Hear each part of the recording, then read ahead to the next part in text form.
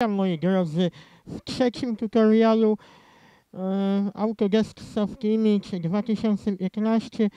Niestety mam dla Was smutną wiadomość. Autodesk e, o, niestety poinformował użytkowników, że to jest ostatnia wersja. Tutaj wszystko pisze. Niestety musicie wejść na tę stronę i musicie to przeczytać. Nie będzie potem możliwości używania tego programu. Wsparcie tego programu jest do 30 chyba kwietnia 2016 roku. Do tego czasu wyjdą poprawki, bo to jest jest Soft Image 2015 Service Pack 1. Ma parę poprawek. Smutna wiadomość, ale niestety Autodesk e, proponuje użytkownikom przesiadkę na Max albo Maję. Osobiście wolę bardziej Soft Image. Praca mi się wydaje bardziej komfortowa w tym programie.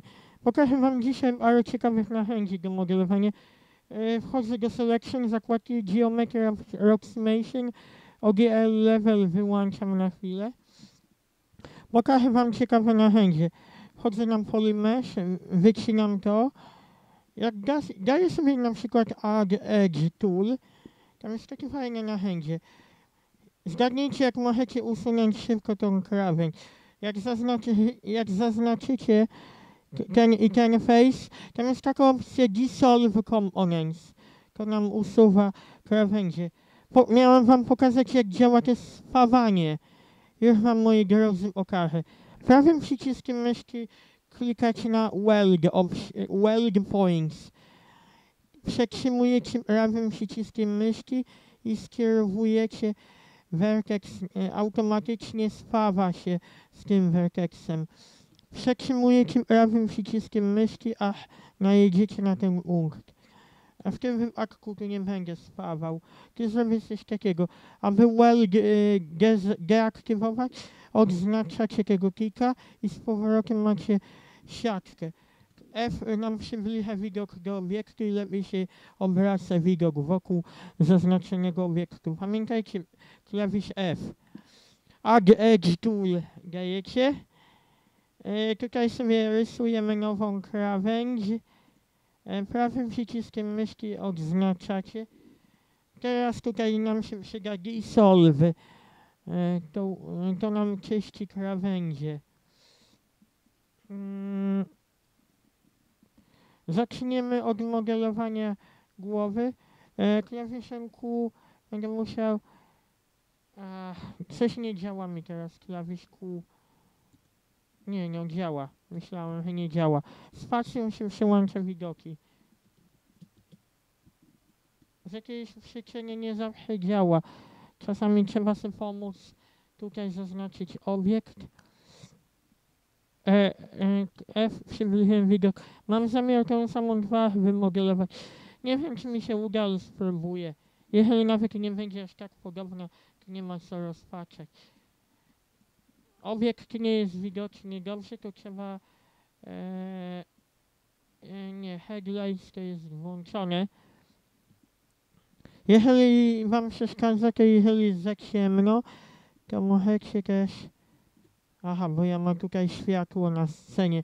Jak chcecie światło przybliżyć, to robicie coś takiego. Klawiszem V przyciągacie ten obiekt do bryły. Światło jest koło poligonu.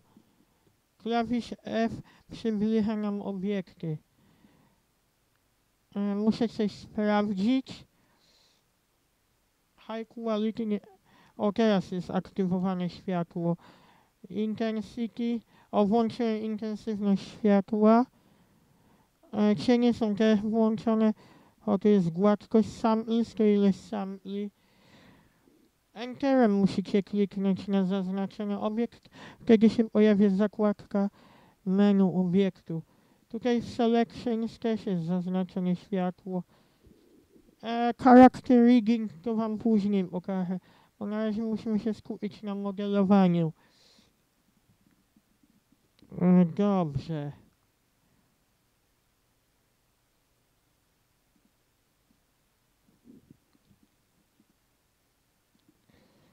I dajemy sobie extrude along axis.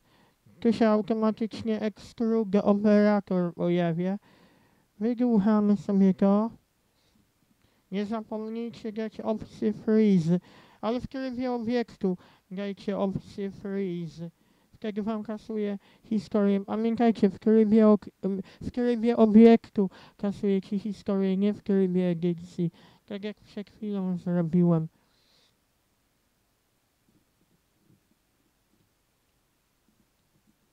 A jak was denerwuje to, aby nie zaznaczać krawędzi, tylko poligony, to tutaj prawym przyciskiem myszki nie dajcie twinkle, tylko polygons, jak was to denerwuje. I dajemy sobie. Oczywiście mój poziom w modelowaniu może nie jest taki super jak niektórych gości profesjonalistów, ale to kwestia czasu. Trzeba się przyzwyczaić, bo modelowanie w 3D jest trudne. Oczywiście nie zamierzam w tutorialu wam pokazać jak modeluję głowę, bo to na zupełnie, to jest na zupełnie inny dzień na inną chwilę, bo jakbym miał głowę w tym tutorialu modelować, to by mi zajęło dwie godziny, jakbym miał opublikować. Poddajemy sobie krawędzie. Aha, tu jest miękka selekcja. Muszę wam pokazać. Proportional. Widzicie to? E, Klawiszem B, klawisz B i lewy przycisk myszy. Jak myszką ruszacie się w prawo lub w lewo, to ten proportional obiekt się powiększa albo zmniejsza. To jest tak jakby miękka selekcja, tak jak w 3D Maxie. Właściwie to jest lepszy program niż Max. Powiększam ten przycisk. Bo potem i tak będę musiał jeszcze poprawić tą bryłę i tak. To nie jest super zrobione. Pododawać krawędzie. No normalnie trzeba się namęczyć. Zapomniałem jeszcze jedną rzecz zrobić. Mam dobry humor, bo mogę wam opublikować mój nowy tutorial. E, klawisz e, na klawiaturze przyciskam. Jak macie klawiaturę po prawej stronie jest ikonka z, z Windowsem, to jeszcze jest to takie ikonka z menu i strzałką. To klikacie i dajecie delete components. Ale pamię zawsze pamiętajcie, aby kasować historię obiektu. Nie tej części, tylko tej. To jest jego kopia, która automatycznie się sama tworzy. Zobaczę, jak to będzie wyglądało e, Geometry Approximation. Na pewno dużo lepiej niż w 3D Maxie. Ten, ten Mesh Smooth i Turbo Smooth to fatalnie wygląda w porównaniu z, z Soft Image. Soft Image ma silnik Giga Polygon Core i może edytować milionów, miliony wielokątów w czasie rzeczywistym. Dziękuję DJ Szymi, Szymon Warunek. W trzeciej części opublikujemy e, no może inne narzędzie, bo jest ich naprawdę sporo. Boolean to są operacje na bryłach. Różnica, intersekcja, przyłączanie, odejmowanie difference. To znaczy e, difference intersect, to nie wiem co to znaczy po angielsku, ale wiem jak to, boolean wiem jak działa. Często kiedyś używałem tej operacji, ale w, Mac, w 30 Maxiu powoduje to błędy. Jak budowałem dom, to często jak używałem operacji boolean, to czasami cały obiekt znikał. No, Max musi być od nowa przepisany. Boolean dobrze działa w programie Cinema 4D. Most pomiędzy poligonami. Dice to jest ciekawa opcja, zaraz wam okażę. To jest krata po angielsku. Dice to jest krata, pojawia się. Tego akurat w Maxie nie ma. Add Edge Tool. No i już mam dodane. Tutaj jeszcze dam Add Edge Tool. Tu dam Dissolve Components. No i widzicie, już mam prawidłowo wymodelowaną część twarzy. Nie będę w całym moim tutorialu o tym mówił. Jeszcze tu jest zakładka Simulator i Jigbogy Softbogy jest klof nawet jest. Wiecie, że możecie symulować tkaniny w tym programie Interactive Creative Environment ICE. Interactive Create Environment ICE. E, Taki zaawansowany moduł za pomocą węzłów możecie modelować efekty specjalnie dodawać. Moduł do włosów Hair. Możecie dodać realistyczne włosy Face Robot do animacji twarzy. Oczywiście ja nie, jeszcze nie używałem Face Robot, bo Softimage ma Shape Manager. Jak wchodzicie na Animate, e, tutaj jest Shape Manager. Tutaj można dodać e, różne kształty, tu można za pomocą tego twarz animować. Hmm. Aha, teraz jest ok. E, shaded.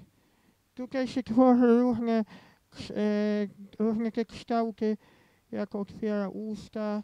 To jest base shape, przykładowy kształt, a tu są nowe kształty. Tutaj się animuje. Coś podobnego jak Morpher Shape Manager. W 3D Maxie Morpher w mojej Blender Shape. Gdybyście mieli jakieś pytania, to możecie na mój e-mail wysłać pytanie albo na YouTube, albo na Facebook. Dziękuję DJ Szymi, Szymon Warunek. Część trzeciego tutoriala omówienie narzędzi Soft Image. W trzecim tutorialu opublikujemy pozostałe narzędzia. Na razie trzymajcie się. Życzę Wam miłego dnia. Pozdrówcie tam ode mnie moich przyjaciół z Polski Zachodniej i Południowej oraz nauczycieli z Liceum Ogólnokształcącego w Kozach imieniem Krzysztofa Kamila Baczyńskiego. No na razie trzymajcie się.